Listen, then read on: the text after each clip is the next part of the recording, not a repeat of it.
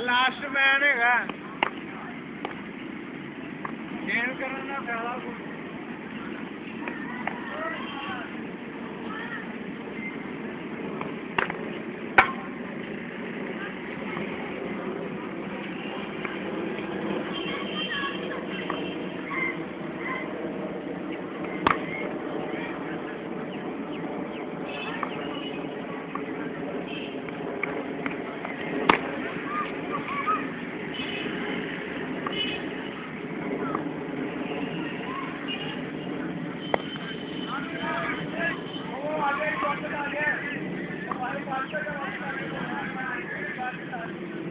ਦੌੜ ਲਾ ਨਾ ਕਿੱਥੇ ਲੈ ਜਾਣਾ ਤੂੰ।